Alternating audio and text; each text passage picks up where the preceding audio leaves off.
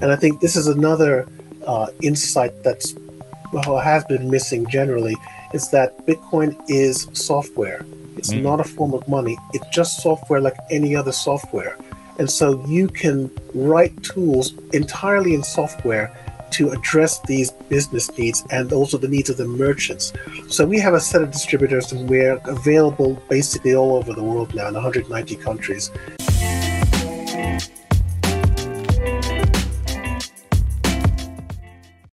This content is brought to you by Uphold, which is a great crypto platform that I've been using since 2018.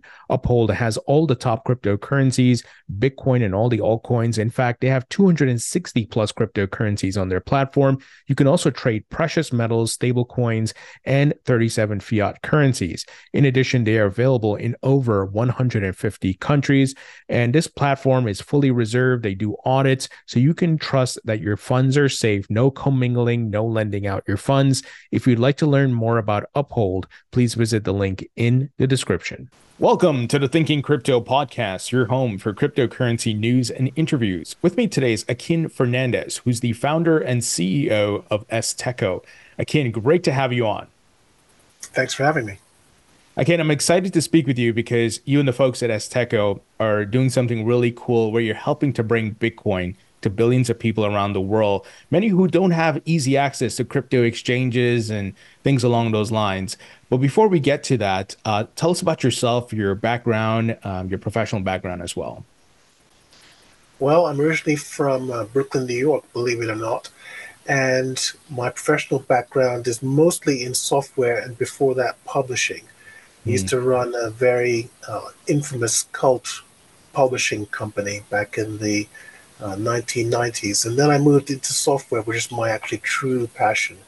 And then when Bitcoin came along, I you know took my long-term interest in what money is and how it actually works, and then decided to dedicate my full uh, time and rest of my career to Bitcoin. So that's the the, the long the long uh, the long version of that story. And do you remember what was your first encounter with Bitcoin? Did a friend tell you about it? Did you see it on a forum? And uh, you know, sometimes people need to hear about it and see it a few times before it clicks for them and they have their aha moment. What what was that journey like for you? Well, I read about Bitcoin from uh, a forum. Actually, somebody mentioned this new thing called Bitcoin, and I already had an interest in uh, synthetic money. And so, when I read about this uh, this this so-called Bitcoin, I was skeptical, like most people are, but I had different reason for being skeptical because the problem that uh, Bitcoin was claiming to solve was a very hard one in computer science. Mm. And so obviously I had to find out what this Bitcoin is all about. Uh, having had a background in uh, using BitTorrent and other types of, uh, well, other attempts to solve this problem, I knew that if this problem had actually been solved, the double spending problem, and also the problem of having a single centralized server, that mm. this could be something super important. So I immediately downloaded the Bitcoin client, which is a very familiar thing for anybody who uses BitTorrent and things like that. And I started to use Bitcoin, uh, what started to, to mine Bitcoin actually myself on a single machine. And it appeared to work exactly as described. And so I decided then, when I was already a software developer working on an SMS project, to stop working on that SMS project and start working on, on Bitcoin. And the first implementation I did with Bitcoin was to accept Bitcoin payments for SMS credits.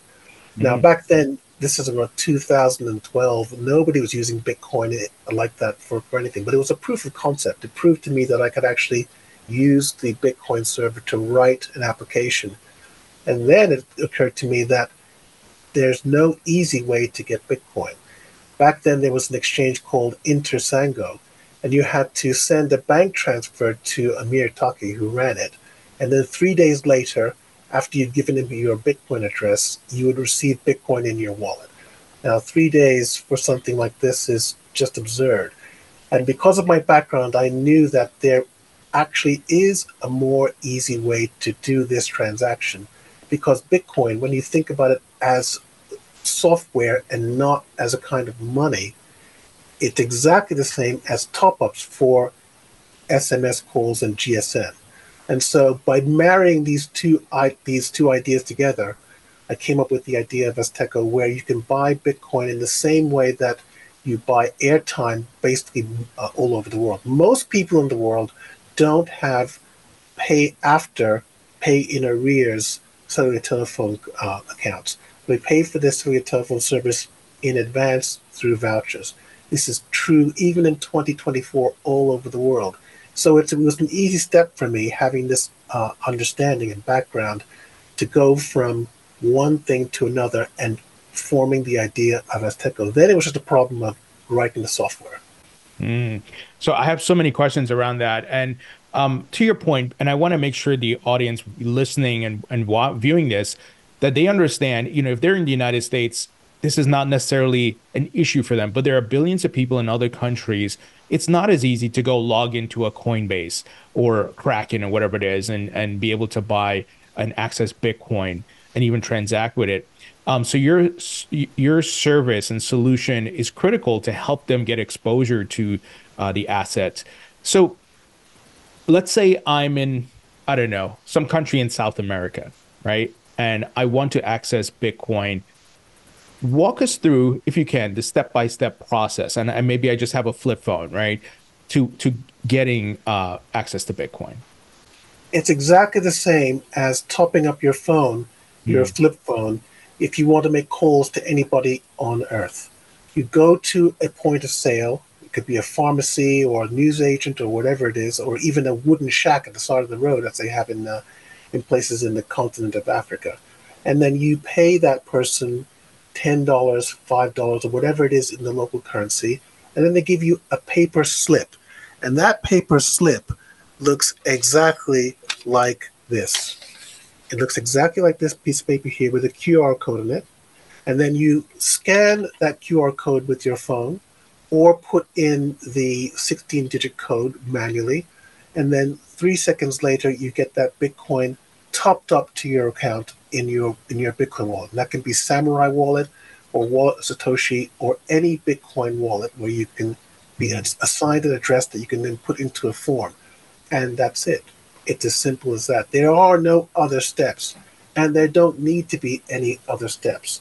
The other steps that people have to go through to get Bitcoin in the first world are a product of the misunderstanding and the miscategorization of Bitcoin as money. As mm-hmm. soon as you don't think of it as money, but think of it as a kind of top up or phone credit, then you can build a service based only on that and remove all the complexity. And that's how you're going to reach billions of people. Billions of people are not going to log into Kraken, uh, a service that I love, by the way. Right. Kraken or any of these other exchanges, even if they could, even if they could pass the identity uh, requirements, which billions of people actually can't, those are only tools essentially for businesses and for traders. They're not for the the common man who just wants to get something very, very simple done, like mm-hmm. sending money abroad or receiving money or, or that kind of thing. It's all very simple for most people. And so you wouldn't expect people to uh, build a phone charger for themselves if they want to charge their telephones. And that asking the ordinary consumer to go to an exchange to buy Bitcoin is a similar kind of thing what we do is we bring con- Bitcoin into the consumer fold. We're the consumer Bitcoin company. And that means we have to address people and serve them where they are and not pull them into where we think they should be. We have to think of them as the uh, the, the guiding, like the North Star, and make sure that we serve them in a way that's very, very simple to understand. And we've actually proven it now because our, our service is hugely, wildly popular. Mm. Now, um, you mentioned the different wallets that you know could be any uh, major Bitcoin wallet. Um, and Azteco, I'm assuming you're the one bridging the, the gap in the relationship with the pharmacy or the business, right? To set them up to be able to do this. Is that correct? That's right. We have a, a series of distributors that that allow us to sell our vouchers worldwide and mm. output them to a common point of sale system. So we don't have to actually write any software or do any uh, bespoke integrations in order for our vouchers to come out of those points of sale. Mm. And I think this is another uh, insight that's well has been missing generally is that Bitcoin is software. It's mm. not a form of money. It's just software like any other software. And so you can write tools entirely in software to address these business needs and also the needs of the merchants. So we have a set of distributors and we're available basically all over the world now in 190 countries through a different set of uh, uh, distributors. And so when somebody in Venezuela or something wants to sell one of our vouchers, they don't have to actually interact interact with us. They use their existing relationships with distributors who sell other top up products to just mm-hmm. add Azteco as one of the top up products that are available. Only in our case, the top up product being delivered is Bitcoin. And Bitcoin has a global reach, it has global utility, and so it's not like a telephone top up that only works inside one network. Bitcoin works in the entire world as if the entire world were the network. Yeah, absolutely. And I, I love that uh, structure and concept of how it's like you said software and you're integrating it into point of sale software and and the infrastructure that exists there. So it makes it easy. Like there's not too much heavy lifting there. Um i am curious about and you probably have this pov dealing with different uh, consumers globally. You know those who are let's say in, in a country in africa or south america um when they buy that bitcoin what, what are they doing? Are they holding it? Are they viewing it as uh a reserve asset, you know, something to keep a store of value, or are they sending it to people or transacting? What is the use case you're seeing the most of? Well, this is a very interesting question, and we get it quite a lot. And I think the best way to think about it is to uh, think about what is the use case for money. Hmm. There is no single answer for that. And Bitcoin, because it's a money simulation as well as being a communications network, uh, you can pay for anything or use it for any context and scenario where you're using money. And mm. because money is half of all transactions, it is uh, something that's universal.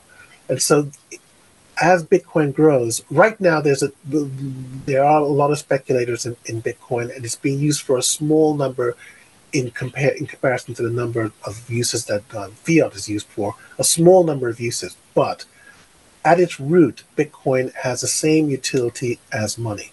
Now, for the people who are buying Azteco vouchers, they're buying it for every conceivable uh, purpose. What they're doing when they buy these vouchers is if you have a lot of money, you're you, are you are using it for the, the storage and, and speculation uh, utility. But as you go down in the size of the voucher, the lower you get, the more it's being used for spending. And at Azteco, we talk about the three use cases of Bitcoin, which is saving, spending, and sending. And so those are the that's the blanket that we uh, we use to describe how Azteco vouchers are, are, are, used. And I think it's very useful to boil it down to those things because actually that's what money is for. is for saving, spending, or sending.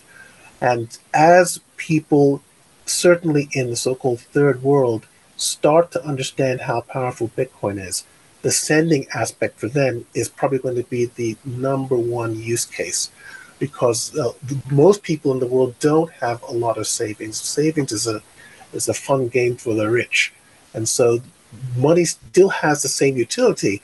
But if you have a small amount of money, you have to live uh, day to day. You have to get things done, and so saving is something that you can do almost as a luxury. But mm-hmm. Bitcoin is obviously good for that. And anybody who started saving Bitcoin five years ago, judging by today's prices, is a very happy person. Yeah, absolutely. Um, now, can I, for example, if I have a, I have a friend, once again, in some parts of the world, and, and uh, it's a developing country, and they're not able to get access to a Kraken exchange and so forth, can I gift a voucher? Can I say, hey, I'm going to send you a hundred dollars or something? Um, and so that they can then put it into their wallet. Or, you know, let's say they haven't fully set set it up on uh, their wallet and so forth, but I'm gonna get you the voucher, and then you can then take care of the rest. Can I do that? Absolutely, 100%.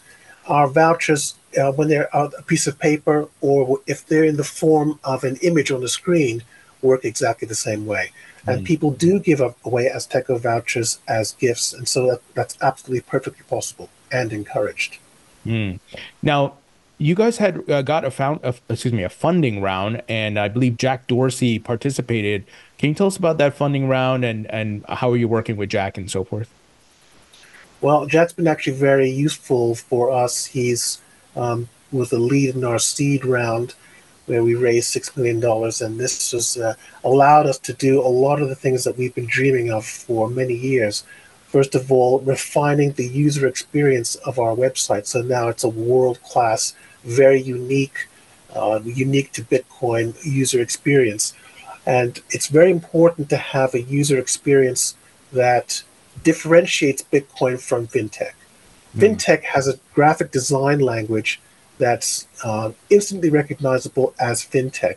And I think that's a mistake if you're a Bitcoin company because we don't want to be categorized, certainly in Azteco's case, as another fintech. We are a different kind of company. We're a Bitcoin company it's much less a fintech and more like a telecoms company. So we need to uh, have a an interface and a public facing uh, design that's not frightening, that's not fintechy, that doesn't um, drive ordinary people away with all kinds of symbols and languages that in language that they don't understand. And so that investment that that, that round that we had uh, was been very very useful for us, and also it's allowed us to take on some world class um, employees, for want of a better description, including a uh, an 11 year Apple uh, product uh, product manager. Not product manager. He's a uh, it, it, escapes me now because I'm in the, on an interview. But it, this guy is from Apple, and he is absolutely wonderful and he's changed the way we do things internally so that all of our systems are more prepared for the deluge of uh, uh, users that have been coming. And so that's where that money is, is, is being used. And uh, it, we're very, very grateful to Jack for having the vision of uh, understanding that we're trying to do something that uh, nobody else is really trying to do. And that Bitcoin, in order for it to take over the entire world, has to reach those people, about 2 billion people who are unbanked and everybody else. And the only way we can do that is by coming to them with something that's of an Apple quality in terms of the usability, the language, and the framing of what Bitcoin is. Because if it continues to be framed as only an asset, only a speculative thing that uh, only the rich can be uh, involved in, then it's never going to get anywhere and it's not going to fulfill its promise. Hmm. Um, are you planning to expand to other uh, crypto assets such as stablecoins, which, uh, like like Tether, for example, um, which are complementary to Bitcoin? They're usually used as on and off ramps for Bitcoin, or you know, you're specifically sticking with Bitcoin for now. Hi, everyone. Pardon the interruption. I'm Tony Edward, the founder and host of the Thinking Crypto podcast. I have a huge favor to ask you. If you haven't subscribed as yet on YouTube or the podcast platforms, hit that subscribe button, hit the thumbs up button, hit the notification bell on the YouTube platform, and on Spotify or Apple or wherever you get your podcasts, please leave a five star rating and review. It supports the podcast. It allows me to bring great quality content to you. Thank you for your support, and I'll let you get back to the content. Well, this is a in, inside of Techo. This is a, a very well inside Bitcoin. This is a very controversial subject, and why it's a, a controversial subject is to is it's, it's down entirely to what a stable coin is. Mm. Now, uh, being a libertarian, I'm not uh, averse to people experimenting with software, experimenting with models, and doing whatever they think they can do to serve the public and make a profit. I'm not against that at all. But uh, Bitcoin is conceived, was conceived as a replacement for the fiat system, which cheats people by design. And mm. so, what some people are doing is believing that uh, a stable coin, which has backing by the US dollar, is somehow complementary to, to Bitcoin. Stealing is not complementary to Bitcoin. If you have a token that has as its backing uh, uh, the US dollar, even if those dollars in that uh, tool are counted one for one under a strict audit, the value of the dollar is still being debased by the Federal Reserve. And yeah. so what you're doing is you're bringing these Federal Reserve dollars to uh, millions of people in a pretty package, a nifty looking package on a, in an app, when it's actually still stealing from them. The nature of the dollar doesn't change because you've you've put it into a different box. Right. The nature of the dollar is the problem. The fiat problem is the problem, and that's what Bitcoin has been given to us to solve. So mixing these two things together is problematic, and also there's an attitude of some people that the third world people are not smart enough to understand Bitcoin. They need dollars because it's something they understand XYZ. Well, I tend not to look down on people like that.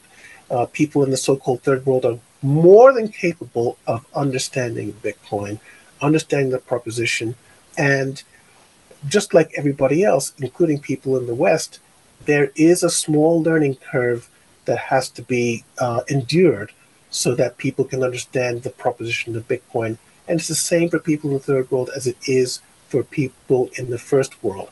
And I think 20 years from now, when we're talking about Bitcoin, uh, maybe not me, but other people talking about Bitcoin, they are going to understand this is actually what happened. It took time for people to understand the fiat problem. Nobody understood it when Bitcoin was released. But now, when you can put away a tenth of a Bitcoin in your wallet and it's worth exactly the same, if not more, 10 years from now, right. saving all of a sudden becomes something that makes sense. Because now, if you have any understanding of money, the, the devaluation of the dollar through the Federal Reserve printing and everything else makes your savings lose value over time by design. Mm. And hmm. so this theft, which is exactly what it is, is intolerable to anybody who understands what's going on, especially if you have a, a huge amount of money. And so you need a tool to save your money in where the supply cannot be debased on demand. And that's what Bitcoin gives to everybody. For sure. Poor as well as rich. So, you know, you mentioned the educational aspect, and that's, like you said, true for everybody, whether you're in a first world country or a third world country. Everybody has to go through that learning experience. Um, what initiatives uh, or campaigns do you have going on to help educate folks and to learn about this technology? And you know, and, and many of them uh, may not understand blockchain initially, like all of us, but you know, to understand how the blockchain works and the underlying technology and the proof of work concept and all these great uh, principles of Bitcoin. Uh, how, how, do you? Uh, how's the educational aspect uh, come into play?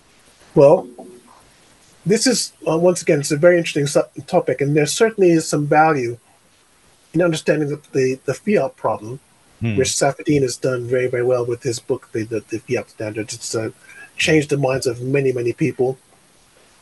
But at the same time, if we think about the number of people that have to be brought on board onto Bitcoin, which measures in the billions, it is not sensible, it's not rational to expect all of those people to understand how the tools that they use work nobody expects anybody who the billions of people who use SSL in a browser to understand how SSL works right. or how SMS works or how iOS or Android works. They just need to be given to them something that actually does work. Mm. That's understandable in a way that if I press this button here, my cousin Yinka in Jos will uh, receive the equivalent of $100 and then he can spend that wherever he wants. That's mm. all they need to understand. So this idea of Bitcoin education, whilst it's very, very useful and sometimes even entertaining, it's not going to help us reach a billion people. We've got to go to people with a proposition that doesn't require training. And of course, Apple do this absolutely brilliantly. It's why their MacBook Pros don't get shipped with an instruction book because you mm-hmm. open it and it teaches you by its operation how to use it. And so what we need is actually consumer grade wallets like Wallet Satoshi, like um, Breez, like Samurai Wallet, that when you open them up, you get the experience of Bitcoin out of the box. And so I'll give you a good example of, of how to be anti-consumer. There's some wallets that used to do this, but they don't anymore. Um, I'm not going to take responsibility for that, although I'd like to. They used to demand that a user would write down their mnemonic and then prove that they'd written it down before they would allow you to receive your first transaction in Bitcoin. Mm. Now, this might uh, appear at, on the surface to be an attempt to uh, take care of the user so that they don't, uh, if their wallet goes down or their phone gets stolen, they can recover their, their Bitcoin. But actually, what it does, it, it presents a barrier to the ordinary person. And it also makes them very frightened about this strange thing called Bitcoin, which actually is not so dangerous and doesn't require this kind of stuff. So the sensible people, like Wallet of Satoshi, have removed that requirement entirely and it just works straight out of the box. As soon as you download it and run it for the first time, you're ready to receive Bitcoin. And so education is important, but it has to be done in the appropriate way. It doesn't make sense to ask ordinary people, DYOR, do your own research, read a whole bunch of books about it, understand economics, understand this, the, the blockchain and all this business, because first of all, nobody cares. And secondly, to really understand these things, you have to have a, a high degree of training, one way or another, in software. And so, if Bitcoin's to become a consumer uh, service all over the world, you've got to use the same methodology that Apple, Samsung, and all these other companies use to get their complicated uh, tools and services into the hands of people. And that's by removing the complexity and giving people something that just works out of the box. Hmm, for sure. Um, what else is on your roadmap for 2024? Well, uh, in 2024, we have some very, very uh, secret integrations coming up. Um, well, they're very secret and they're very interesting, and they're going to put us into uh, put us on the global stage. That's all I can say about it. And uh, this is going to transform how not only people get a hold of Bitcoin, but it's going to transform how people think about Bitcoin. I think that those two problems are closely related and they can be solved both at the same time. We have to get the simple proposition and essentially the truth about Bitcoin in front of as many people as possible. So, in our roadmap for this year, that's going to be the case. Everybody's going to be very surprised about how Bitcoin actually can work if you take away the complexity and think about it correctly. Many people, when they use Azteco for the first time, whether they've used other services or not, they say, Why isn't everything this easy?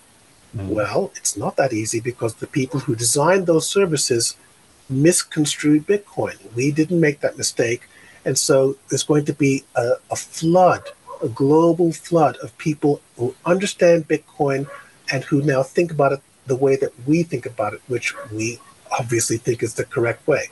And so that's the most important thing in our roadmap exponential growth and uh, I wouldn't say proselytizing, but spreading the message of how simple Bitcoin can be, what it can actually be used for for the vast majority of people on Earth, and things like that. And I think it's very exciting.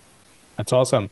Um, now, you had brought up um, just a couple of questions ago, you know, the debasement of fiat currency, and this is a problem we see globally, right? This is the system we live in, the, the fiat debt-based system, and they continue to print us into oblivion. Um, do you think, though, Bitcoin will be adopted by different countries and central banks where it could help solve this fiat currency problem? Because the debt can keep going for on, on forever. At some point, they're going to have to do some sort of reset or change this system. But is Bitcoin part of the solution? Well, it, they can choose to um, accept Bitcoin's offer or not. And if they choose not to accept Bitcoin's offer, that means they're going to have to do, a, what, as you say, a reset and relaunch another fiat with a, a, a smaller amount of what, well, a small amount of uh, coins in circulation or notes in circulation. And then the cycle will start again and it'll be, I don't know, another 50. Actually, the average life of the fiat currencies over the, the 20th century was 16 years. I don't know if you knew that. But mm-hmm. so it'll be another set of pushing the problem back into the future. That's what Keynes said. It doesn't matter that we do this because in the end we're all dead. Well, anybody who has children knows that your children are going to inherit this system, whether it's the, the, the euro or the dollar. And so thinking about the future means that you don't want to have the currency to go kaboom with all your savings in it just evaporated.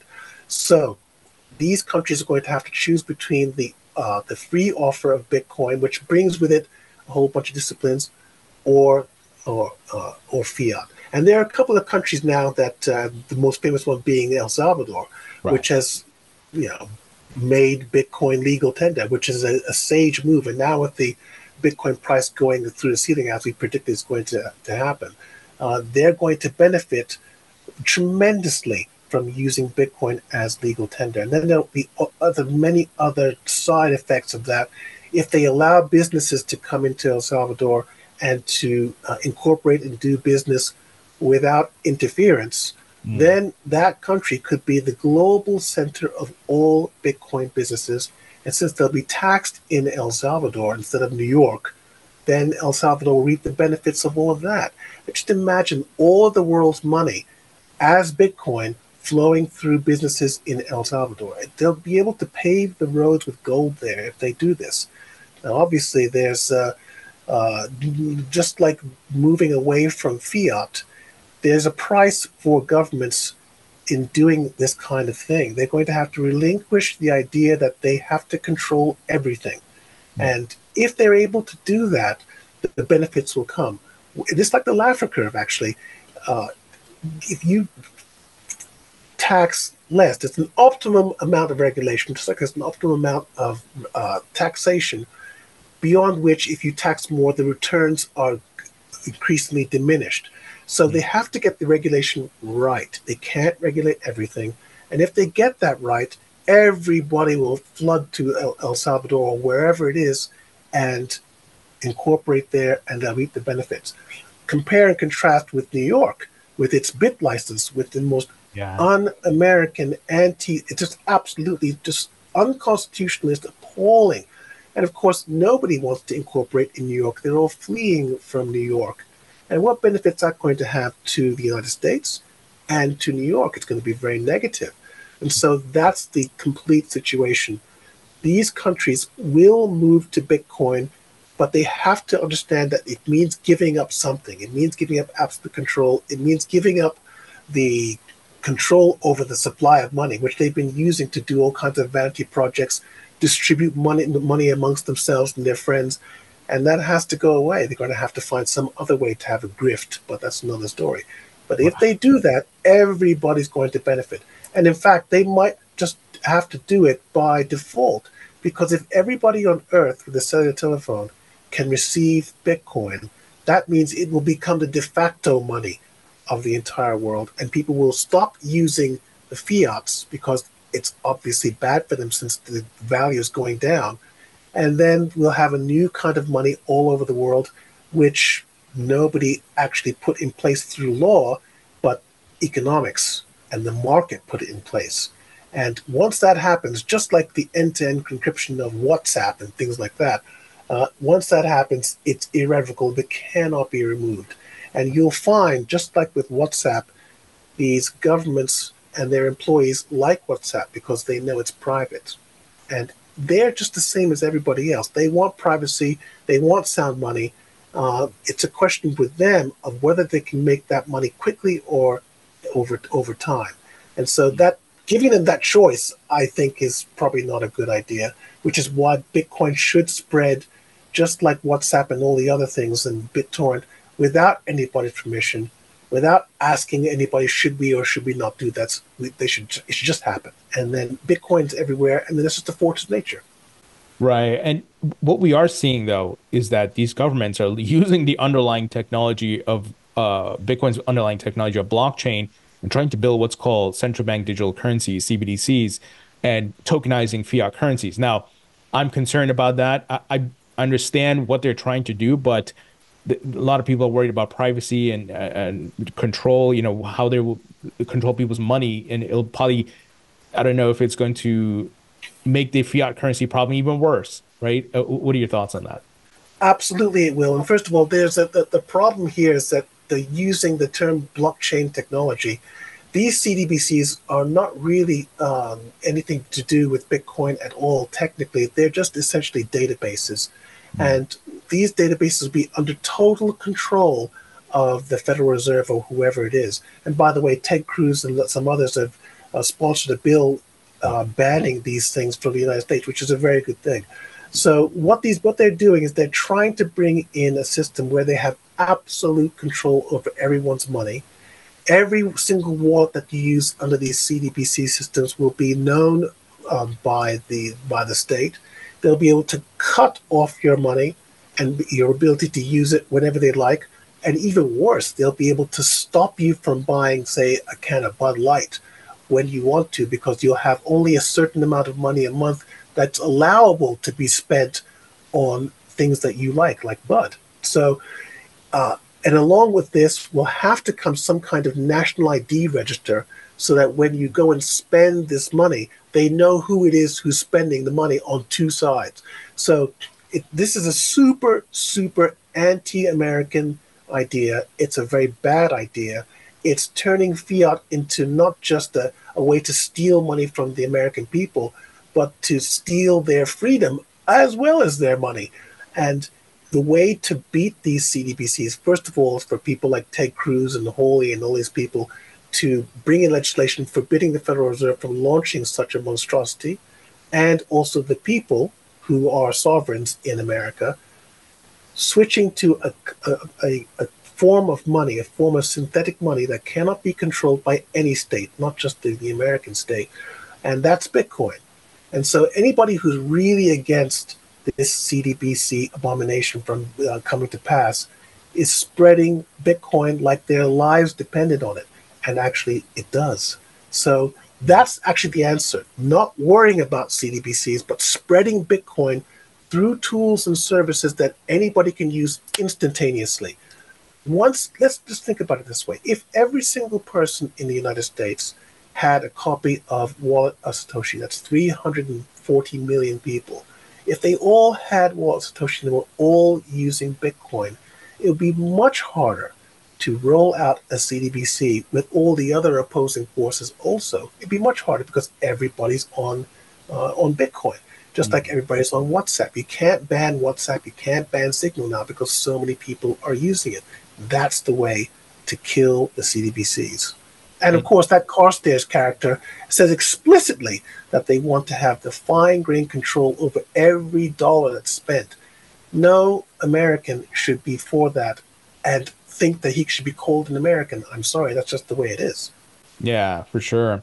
Um, now we got Bitcoin getting adopted um, by financial institutions with the launch of the Bitcoin Spot ETF. Love to get your thoughts on that and how what impact you think that's going to have on the adoption of Bitcoin. I think well, the, the it's interesting. If we think of Bitcoin in the same way that we think about email and the and the web, the web was adopted first by you know the, your geeks and software developers and people like that, and then it grew that way. And then it was only much later that the big corporates got onto the internet and had their own websites and their own web services and even email. And so this ETF is uh, very good symbolically because what it does, it, it shows that these institutions that previously were, well, this class of institution, which were previously very skeptical about Bitcoin, are now warm, have now warmed up to it totally. They're hot for it now. That's how much they've warmed up for it. Yeah. And they're they're making a fortune on Bitcoin, and they've proved also that it is it is legitimate nobody says now that Bitcoin isn't legitimate. It's only for these bad use, use cases. And that I think that's the most important effect that these ETFs are imposing on the West. Mm. These ETFs are only for a, small number of uh, accredited investors. It's not for everybody. And so this is more symbolic than it is practical. And uh, insofar as it's driving up the, the price of Bitcoin, that's also good because what it's going to do is attract more people uh, into Bitcoin at the lower levels who are running their own wallets, buying Azteco vouchers to fill them up, and that kind of thing. So it, all in all, I think it's a good thing. I think it's a very positive thing. And it, it, I, it may lead eventually to the United States government actually recognizing Bitcoin in some uh, mm. legal form, just like El Salvador does. It probably a light version of that. And that will uh, further erase people's doubts about it, make it easier for Bitcoin startups to raise money when it comes to any service that handles it, and means it it'll mean that nobody's laughing at Bitcoin anymore. For many years, people will laugh at it, mock it, and even though it's been sound all the way through from the beginning, Bitcoin hasn't changed. It's the people who have changed. And I think this ETF is a key moment in people changing their minds about Bitcoin. It's now okay to like Bitcoin. It's now okay to put your money in Bitcoin because the ETFs are here. And so it, the, the, the landscape has changed, and I think it's a very good thing. Yeah, you know, you brought up a great point that I didn't think about, um, and that is these big institutions, which are well known, they're, they're, people are familiar with the brands and so forth, your Fidelities, your BlackRocks, they uh, building these ET, uh, Bitcoin products. Um, it's hard for the government to go fight against them because, let's be honest, the political system, the BlackRock and Fidelity make campaign donations to politicians and influence the lawmakers. So, to your point, the U.S. federal government could could pivot and embrace it and, and change laws uh, because the biggest institutions in the world, especially in the United States, are adopting it. That's exactly right. And also the on an individual level, the senators and congressmen are all investing in Bitcoin uh, more or less in secret, although it's not secret. They are they are now, and I've always said this, that the journalists and the politicians must become peers in the network in some capacity. When it's not in their interest for the Bitcoin price to go down, when they're invested in it, when they're going to lose personally if anybody disparages Bitcoin, they're going to make sure that if somebody is found disparaging Bitcoin in any journal, counter articles will be released saying this is nonsense, Bitcoin is absolutely sound, because they, they're going to benefit from it personally. No government official is going to put uh, restrictions on Bitcoin that will hamper its growth because if Bitcoin grows into the into the market and is accepted by everybody, the value of their investment is going to go up. So mm. they're incentivized to uh, do their jobs properly and not get involved with the commerce of ordinary American people. So that's another reason why these ETFs are a very good thing. It gives exposure to Bitcoin to people who would not normally get exposure. And mm. you're not going to get congressmen and senators downloading a wallet and then you know getting onto Coinbase and stuff. They're too busy to do that kind of stuff. But their account managers can get uh, exposure to Bitcoin through these ETFs, and then all of a sudden they're incentivized. They're incentivized in theory and in fact, and they're going to do everything they can to make those investments go up. And in the case of Bitcoin, that means backing off, let the market grow exponentially and naturally, just as the internet grew exponentially and naturally, and then they'll benefit. That has to happen. Yeah, absolutely. I want to get your thoughts. Uh, I know we're running up on time, but uh, the Bitcoin Lightning Network. Um, there are many different apps and folks working on the Lightning Network to improve the uh, transactability, so to speak, of Bitcoin to make things faster and so forth. What are your thoughts on, on the Lightning Network and the developments happening there? Well, Azteco started as an on-chain only company selling our vouchers that were redeemable on-chain, and we knew that, as everybody else knows who's working in Bitcoin, that the fees have to go up if the Bitcoin network grows and uh, adoption continues. And we've seen that recently with the Bitcoin fees for one transaction going up to like $25. And so it's not feasible for somebody who needs $10 of Bitcoin to pay a $25 transaction fee. Mm-hmm. And so the idea of Lightning is a godsend. It's an absolutely wonderful thing. It not only removes the impediment and the, the, the problem of the Bitcoin fees, but it's also super fast. It's super fast. You can send very, very, very small amounts of Bitcoin, just as you could in the original super early days of Bitcoin when the fees were uh, fantastically low. The Lightning Network has essentially given Bitcoin back to itself. It's the promise of Bitcoin fulfilled through this uh, this new layer, layer one, that was layer two. It's layer two, And it's been an absolutely wonderful invention. I think it's absolutely fantastic. And Lightning Labs is one of the most important companies ever to start in Bitcoin. And we're very grateful to them for doing this super innovative, super difficult, actually dangerous work. And they've pulled it off. They've pulled it off. I think it's fair to say that the Lightning Labs saved Bitcoin. Uh, mm-hmm. They certainly saved the use case of small amounts of Bitcoin going to and fro all over the world. And uh, in our concept, in our conception, in our framing of Bitcoin, that's an absolute prerequisite to world domination. And so, you know, thanks a lot, Elizabeth Stark and Ola Olua Osuntokun. Yeah, for sure. Um, now, I've got some rapid questions here for you. First, uh, because the metaverse is being created, if you could create your own metaverse, what would the theme be?